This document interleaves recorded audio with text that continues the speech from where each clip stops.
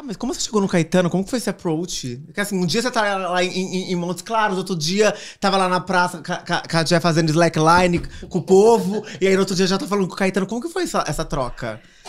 Então, eu direto eu tô lá na casa de Caetano, né? Porque. Ai, básica, né, Marina? Ah, Marina! É porque eu não fico postando que eu sou low profile. Vocês sabem como é que eu sou low profile. Eu tava lá em muito. Mykonos e tipo assim. A gente Três posta, dias. Marina, posta, ela não postar. E a Marina Nada. faz uma foto, nem que for pendurada num coqueiro, conceito. Ela, ai, e eu tirava a foto dela de longe. Nossa, eu sou muito preguiçosa pra rede social. E aí, eu sempre tô lá, assim, fazendo som direto. Paula também gosta muito de chamar os artistas pra lá, pra, pra gente se entrosar também, assim. Acho que é um movimento muito legal que ela faz, assim. E aí, eu sempre tô lá nessas ondas. Toda vez que vou pro Rio ou então Salvador, a gente cola na casa de Caetano. E aí, como que rolou esse convite? Primeiro convite pra ir pra lá? Foi uma direct? Foi por- em meio da gravadora? Era Ele amigos em te convidou? comuns? Eu não lembro a primeira vez que... que Você chegou batendo lá na porta e falou: Oi, eu sou a Marina Senna. eu já deitei no seu sorriso. E já chegou se apresentando. Eu não lembro a primeira vez que eu fui lá, que, eu- com, com que que, foi? ocasião que eu cheguei lá, não. Mas a gente naturalmente sempre chega lá, na real. Porque quando, tipo assim, aí Caetano tá em Salvador e os artistas estão lá em Salvador. Paula sempre vai convidar uma galera pra ir lá, tipo assim. Pra- ela gosta de ver essa coisa, ela chama um de um canto, outro de outro, outro de outro, assim, e junta as pessoas. Mas é bem legal, eu já conheci muitas pessoas, já, já me. Já entrosei com várias pessoas que eu nunca tinha me entrosado antes, assim, nessa, nesse movimento que Paula faz, assim. Chique. E você lembra da sensação da primeira vez que foi na casa Nossa. dele? Porque assim, por mais que a gente tenta agir eu não consigo nem conversar. A real, a real da real é que eu não consigo nem conversar perto dele, né? Eu fico assim. Admirando. E ele parece tão bom, simplesinho, bonzinho. Não, gente, uma entidade. Você fica, você fica sem graça. Você fala, não, deixa ele falar, gente. Deixa ele falar. Tudo, sabe? Fale, Caetano. Eu não vou falar nada, sabe? É meio assim minha, minha reação. Eu acho que eu ainda vou acostumar, né? Vai indo mais, aí você vai acostumando com a presença da pessoa. Mas eu acho tão legal quando não acostuma. Porque sempre fica É, eu nesse também lugar. gosto, porque ele tem um lugar de ídolo pra mim, assim. E, inclusive, quando eu comecei a é, me empoderar da minha personalidade hippie, porque até então eu não entendia, né? Aquela coisa ali, 15 anos, eu era roqueira, eu era não sei o quê. Eu não sabia exatamente o que, que eu era. Eu sabia que eu não era normal. Eu sabia que alguma coisa tinha um barulhinho na minha cabeça ali diferente. E aí eu precisava de ir nesses movimentos mais alternativos, assim. Eu precisava de ir num reggae, eu precisava de ir num rock, ou juntar com a galera do rap. Eu precisava de fazer alguma coisa que fosse contra a cultura de massa, né? Era essa a minha necessidade, necessidade do meu espírito, assim. E aí, quando eu mudei para Montes Claros, que foi quando eu conheci o álbum Transa do, Caet- do Caetano Veloso, que foi o álbum que mudou a minha percepção sobre mim mesma, assim, totalmente. Porque aí eu me empoderei da minha ripagem, sabe? Eu falei assim, não, sou Essa hippie. sou eu. Fez o Sou download. hippie, sabe? E aí agora eu sou hippie de boutique, né? Como assim, hip de boutique? Hippie de boutique, Tá hippie rica. cara, Burberry, entendeu? Ah. tipo assim.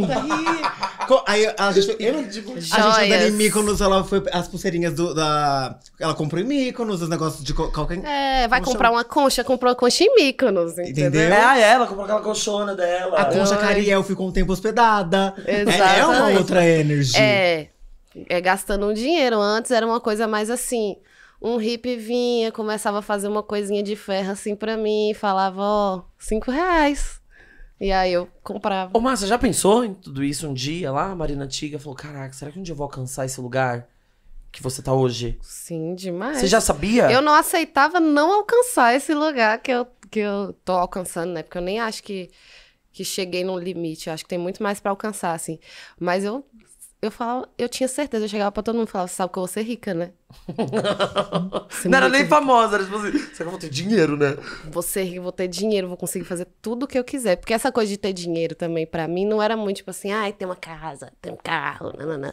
Era tipo assim, véi.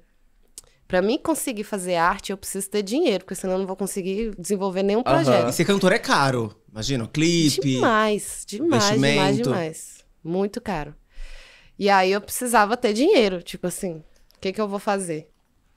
Vou arrumar esse dinheiro. Pra mim conseguir fazer meus clipes, conseguir fazer minhas coisas, né? É mais pra ter estrutura, inclusive pra desenvolver a própria arte, assim. Que era mais minha a minha maior preocupação com relação ao dinheiro, assim. Não era nem roupa, né? Era mais isso mesmo. Era poder fazer com qualidade as coisas que eu queria fazer. Poder fazer espetáculo, sabe? Poder fazer clipe lindo.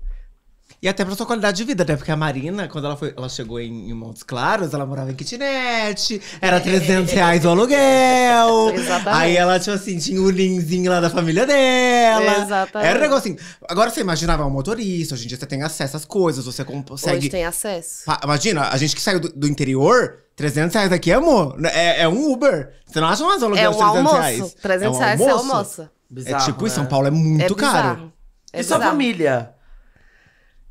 Minha família sempre me achou bem, muito aparecida, assim, sabe? Tipo, você é uma menina aparecida. Não podia ver ninguém. Se tivesse duas pessoas que eu começava a cantar, começava a dançar, sabe? Tipo, eu queria que Ai, as que pessoas me delícia. vissem como eu era talentosa. E desde criança, eu queria que todo mundo visse, assim. Ah, você Então- não era uma menina tímida? Eu achei que você era meio tímida. Eu sou tímida em certos pontos, assim. Tipo, pra conversar, pra, pra ser amiga, eu sou tímida. Se a pessoa não. Se não rolar aquela química mesmo, eu fico tímida. Uhum. Agora, se rolou a, a química, aí eu não fico tímida, não. Eu fico Aí louca. é bagaceira. Igual a gente, né? Eu não É, fui tímida com vocês em momento gelo. nenhum. Não, o primeiro Mas com outras dia... pessoas, pode ser que eu seja. Mas o primeiro dia a Marina ficou só de olho nós. Deixa eu entender Que? eles. O primeiro dia a gente ficou muito. Você não lembra? É porque pra mim a sensação é que você chegou depois, né? Cheguei. Ah, é verdade. A gente chegou, ficou dois dias lá, um dia, depois você chegou. A gente ficou muito bem. Foi o primeiro dia que eu. Que não precisava de eu ter bebido. Nossa. Que você dormiu? Foi. Isso foi tudo no primeiro Tudo dia? no primeiro dia. Nossa, eu não lembrava que foi tudo isso no Foi primeiro tudo, dia. Pra porque- mim já tinha Foi, sido no segundo. muito- É porque é muita informação, né? Era muita coisa. Parece que, gente, parece que essa viagem durou tipo, 500 dias. E você fez duas vezes, né? Você foi pro meu... Nossa, foi uma trip. Ela realmente tá rica. Não, realmente. Ela realmente tem- tá rica, amiga. Ela É, duas agora vezes. me fudi, mas tudo bem. tá pagando. Vai, vai vir, tá vindo os publis da boneca.